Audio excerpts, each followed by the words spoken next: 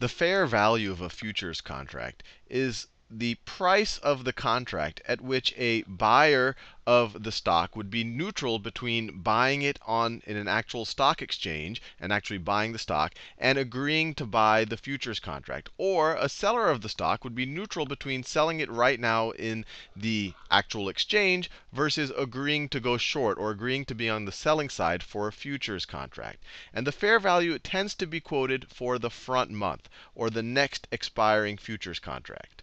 Next expiring futures contract. And to see how this works, why someone would be neutral between, say, buying something now for $100 and agreeing to buy it maybe next month at $102, think of it this way. If they want to just hold that stock a month or two or three from now, they could pay $100 right now, or they could put they could take their $100 so they could either just buy it right now, or they could stick it maybe in a money market account they could get some interest for the next few weeks, and then they could buy the futures contract. So if they got interest of $2, if they kept that $100 in, say, a money market account for the next until the actual contract date for that futures contract, they'd be neutral. I could spend $100 today, or I could put $100 in a money market account, get $2 in interest. And I'm not going to uh, worry about the dividends right now. If a dividend happens then, obviously you would want to pay less for this thing where you didn't get the dividend.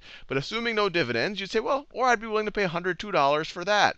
If this was only $101, if the price of the futures contract was $101, then you'd say, wait, if the price of the futures contract is $101, I would rather, I would rather put my money in a money market account, get $2 of interest, and buy it in a month for $101. I'll, I'll essentially get an extra dollar if I do that. If the price, if the price is at 100 and if the price is at $103, then you say, well, gee, if, if I want to hold that stock a month or two from now, I'm way better buying it right now. Or another way to think about it, if the price is at $103 and I'm a seller of the stock, instead of selling it today for $100, I'm better, and let's say I really need $100 right now, I'm better off borrowing $100 right now, paying maybe $2 in interest, and then selling it a month later for $103. So the fair value is the price at which a buyer or seller is neutral between buying and selling the stock or entering into a futures contract. I'll go into it in a little bit more detail in the next video, but its main use is an indicator of what's likely to happen once a market opens. And that's because futures markets futures markets trade much, have much longer trading hours, sometimes 24 hours, than traditional stock markets.